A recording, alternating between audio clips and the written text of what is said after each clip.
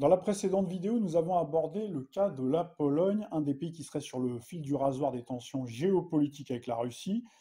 La Pologne est historiquement un pays par lequel la Deuxième Guerre mondiale avait déjà éclaté, et nous avons pu voir qu'avec la répétition des cycles passés que l'on retrouve dans notre ciel de 2024, ce pays a une nouvelle fois les potentialités pour générer un nouveau conflit qui forcément pourrait faire monter encore d'un cran le spectre d'une troisième guerre mondiale apocalyptique. Toute nouvelle guerre sur le vieux continent s'inscrirait forcément dans le reflet du conflit russo-ukrainien déjà existant. Vous avez sous les yeux un complément de ce que j'ai pu dire hein, dans la précédente vidéo donc, par rapport à la synchronicité du transit de Mars en Capricorne. Alors vous le savez, hein, les initiés passionnés à l'astrologie le savent, hein, le Capricorne prépare, planifie minutieusement, programme, programme les guerres avant de lancer les opérations, et on avait vu que dans le thème fondateur de la Pologne, Mars, planète de la guerre, était valorisé en Capricorne, très précisément à la cuspide de l'ascendant en Capricorne, selon la base de données AstroThem. Ce qu'il est très important de préciser, c'est que dans le cadre du déclenchement d'un conflit, Mars est là en tant que détonateur. Ce qu'il faut regarder, bien entendu, c'est le reste de la toile de fond céleste.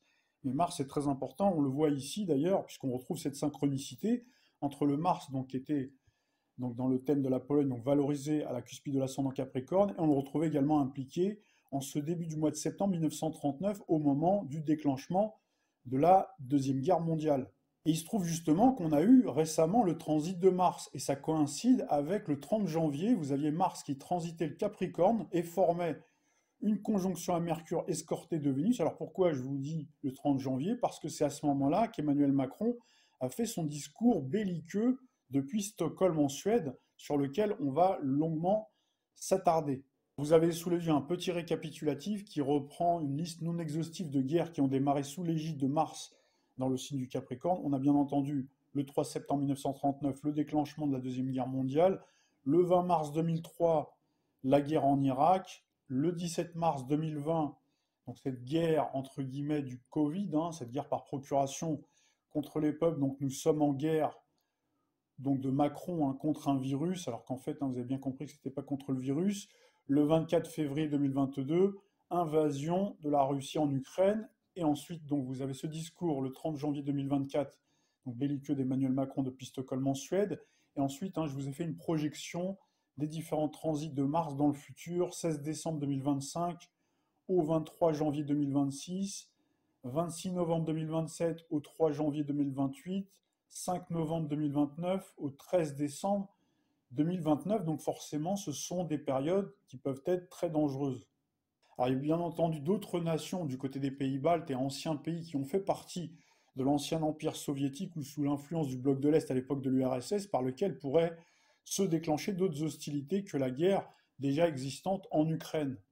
C'est par exemple que depuis maintenant pas mal de temps, vous avez la Serbie et le Kosovo qui se cherchent, il faut dire que ça fait quand même 15 ans depuis la déclaration d'indépendance du Kosovo, obtenue d'ailleurs sous un soleil en verso le 17 février 2008, que les tensions sont récurrentes entre Belgrade, donc la capitale de la Serbie, et Pristina, celle du Kosovo.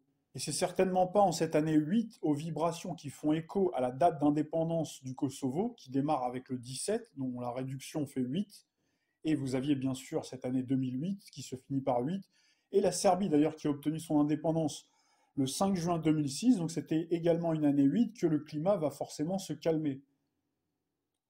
D'autant que Pluton, le grand stratégaire du ciel, est maître du scorpion, huitième signe du zodiaque, qui entre en résonance avec le 8, et le transit donc de Pluton dans le signe du Verseau, qui est le signe du thème fondateur du Kosovo. Donc là, forcément, ça peut encore aggraver le climat tendu sur le terrain diplomatique et géopolitique entre les deux nations.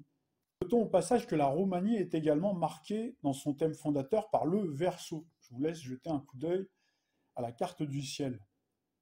Quant à la République tchèque, là où Macron a produit un nouveau discours belliciste 5 mars 2024, donc ce 5 mars est marqué par les vibrations 8, puisque si on fait l'addition du 5, le jour, plus le mois, donc ça fait 5 plus 3, donc le mois de mars, hein, c'est un mois 3, donc on retrouve le 8, et le 8 fait écho avec l'année 2024 baignée par les vibrations 8. Et le thème de la République tchèque, encore une fois, merci à la base de données AstroThème, on retrouve une nouvelle fois, alors cette fois-ci non pas un thème verso, mais un thème taureau, marqué par le cycle de Saturne en poisson, comme dans notre ciel de 2024, et Jupiter qui trône dans le signe du taureau, comme dans notre ciel de 2024, en plus à des degrés très proches où on retrouve Uranus et on retrouve également Jupiter dans notre ciel de 2024.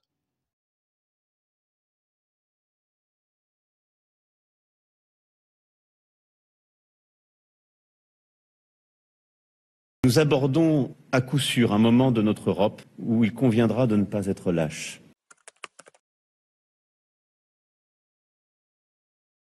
Fais pas chier ou je te ferai une guerre comme t'en as jamais vu. On ne veut jamais voir les drames qui viennent. On ne veut jamais voir ce qui se joue. Et je crois que nos deux pays ont conscience de ce qui est à l'œuvre en Europe.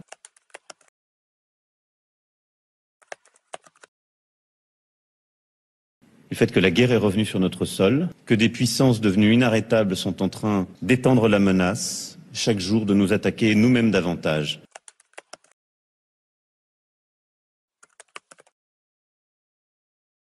Et il nous faudra être à la hauteur de l'histoire et du courage qu'elle implique. Ce sera aussi notre responsabilité aux uns et aux autres. Rien n'est terminé Rien Tout continue à cause de vous C'était pas ma guerre C'est vous qui m'avez appelé, pas moi C'est cela aussi que je suis venu bâtir. Et c'est cela aussi que je suis venu bâtir. Je suis convaincu que justement la clarté assumée de ces propos est ce dont l'Europe avait besoin. Mais allez plutôt demander au président Poutine ce qu'il est prêt à ne pas faire. Qui a lancé la guerre en Ukraine? Vladimir Poutine. Qui menace, quoi que nous fassions, quoi que nous disions, avec l'arme nucléaire Le président Poutine. On va se parler franchement. On va se parler franchement. Qui emmerde la vie de qui aujourd'hui? Qui gâche la vie de nos soignants qui, depuis deux ans, sont mobilisés sous l'eau dans nos services de réanimation pour sauver des patients qui aujourd'hui sont essentiellement non vaccinés? Ce sont ceux qui s'opposent au vaccin. Qui a lancé la guerre en Ukraine? Vladimir Poutine. Qui menace, quoi que nous fassions, quoi que nous disions, avec l'arme nucléaire? Le président Poutine. Tournez-vous tous vers lui pour savoir, lui, quelles sont ses limites stratégiques. Mais si chaque jour nous expliquons quelles sont nos limites face à quelqu'un qui n'en a aucune et a lancé cette guerre, je peux déjà vous dire que l'esprit de défaite est là qui rôde, pas chez nous. Nous avons euh, accéléré et augmenté nos productions en européen. Nous avons euh, livré les stocks qui étaient disponibles. Les besoins de l'Ukraine sont d'un tel niveau qu'il faut aller chercher maintenant au-delà de ce que nous pouvons produire et de ce que nous avons en stock. C'est le sens de cette initiative. Et aller chercher vers des pays tiers, non européens, des capacités restantes pour faire face aux besoins de court terme en termes de munitions euh, euh, à